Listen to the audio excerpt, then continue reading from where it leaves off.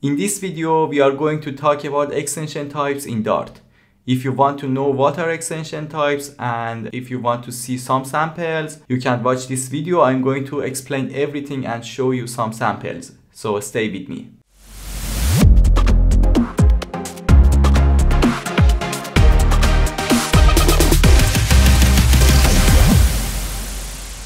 Hi there, this is Iman Neo. Welcome to my channel. In this video, we are going to talk about extension types. So it is a new concept that is introduced in Dart 3.3 and basically it is just a wrapper around a type. So as the documentation says, it is an extension type, it is compile time, and it wraps an existing type with a different static only interface.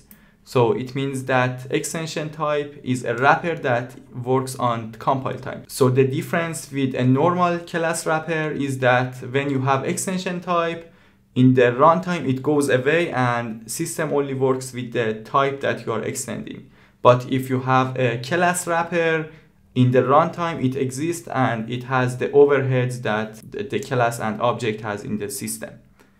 There's an example here yeah, so the syntax is like this. You write extension type, name of your extension, and the type that you are extending. For example, here we have integer. So basically we created an extension type on the integer. So in this example, we don't want to have the plus or minus operators. The only operator that we want to have is this one, uh, less than something so in the sample, we have an integer, it is unsafe int and we can add it with some value here. So it works because it is an integer. But the other sample is the type that we already created. It is ID number, which extends int. It is actually int, but with a static type wrapper that we just created. And here when we want to plus it with something, we get compile error because in the definition we don't have the plus operator here so it is not allowed to add something into the ID number. Or if you want to assign an integer into your ID number it doesn't work you get compile error because the type is different. One important point is that uh, because it extends the int type you can cast your ID number to an integer and you can assign it to a normal integer value and also you can have the operator that you already declared here. You can have the less than operator here and it's okay. So you can read the documentation. I'm not going to read all of them for you. I will put the link into the description. But the thing that I want to show you is an example which explains everything. So we have a package called SoLoud Flutter so it's a package that simply helps you to play some audio and sound effects in your game. I'm not going to explain the Flutter SoLoud plugin, but I'm going to just show you the parts that are uh, related to our topic. So to do that, uh, at first I want to say that uh, the Flutter SoLoud plugin is a plugin that is a wrapper around this one. This is a plugin that is written in C++. It is an audio engine and if you open it you see that we have play method we have load method and when you play something um, it, it is the C++ code that our Flutter plugin is using. And when you call it in the C++ it returns an integer which is a handle. So it's like an ID that you can manage the playing audio or sound effect. For example you can change the volume you can change the pan you can pause it you can resume it so this is like an ID that you have in the SoLoud plugin written in C++. So what I'm going to show you is inside the Flutter SoLoud. I'm in the Save the Potato game. It's just a simple game that I developed. And suppose that here in initialize, oh, this is a crowded function. Let me write uh, something simpler. Let me close it. Oh, yeah. So suppose that we have a function called init and it is an async function. Inside that we have SoLoud dot instance dot load. And for example I want to load assets audio victory.mp3 yeah.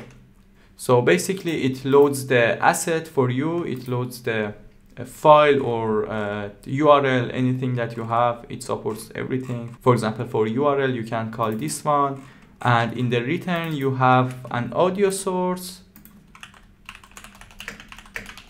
So audio source is something that is created using a file a URL or an asset. And then you can play it as many times as you want.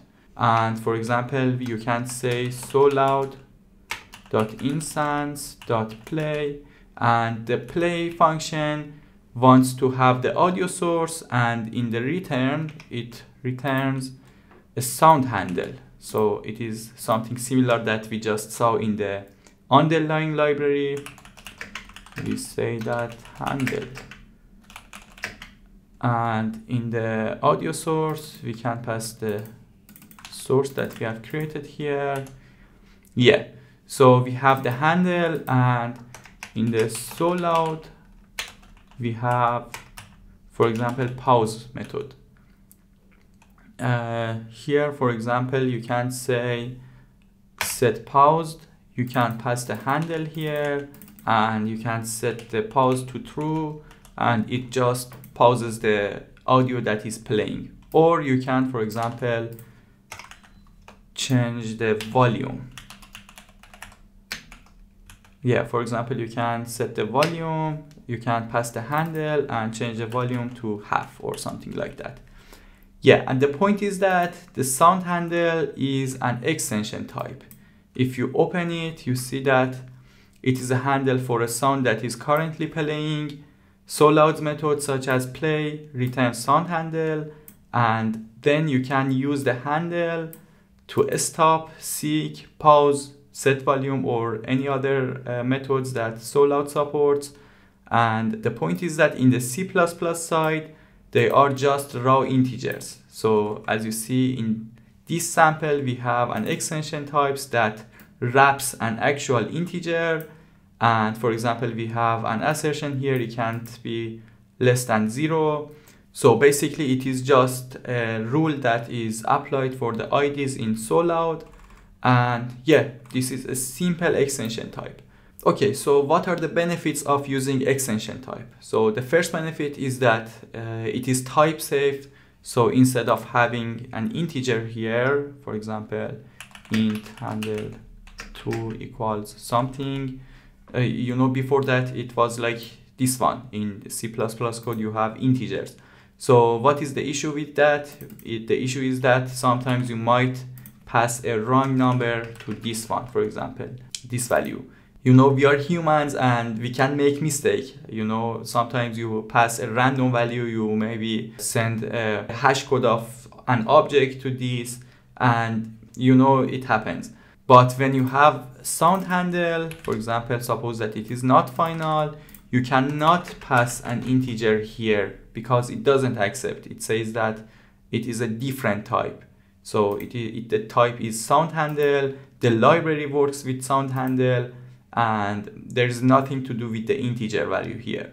And the other point that because we have a type here, you can command click or control click if you are on Windows on this object, and then you can read the documentation. You know, it is a separate type. If it was just an integer, you couldn't click on it because it opens the integer documentation but the definition is a handle is an audio handle. But here we have a sound handle it is a type. If you are curious you can read the documentation of this sound handle. And the other point is the readability. You see that it is readable. You know that the type is sound handle.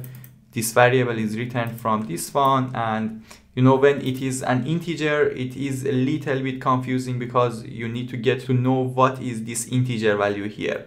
But when it is a sound handle you know that okay it is something that like an integer or a handle that you can have it and then you can pause or uh, change the volume using this property.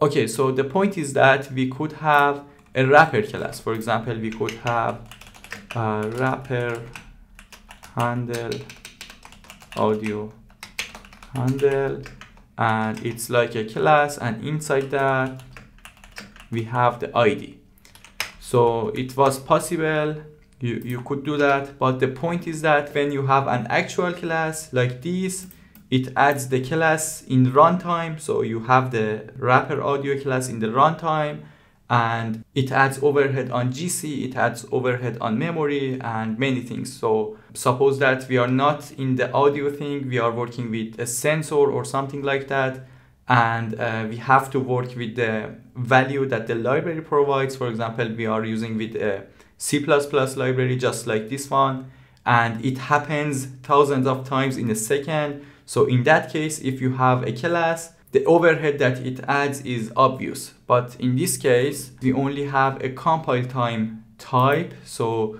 when you compile the app, when it goes to the runtime, the sound handle goes away and everything is replaced with the integer. So it does zero cost for the system or for the GC to work. So in this case, you have the readability, you have the type safety, you have the documentation here, you have everything, but with zero cost. And yeah, it was a sample that I saw and I wanted to show you. And I think we are done with this video. I explained everything. Thanks for watching. Don't forget to hit the like and subscribe button. And if you like this kind of content, please let me know in the comments. Bye.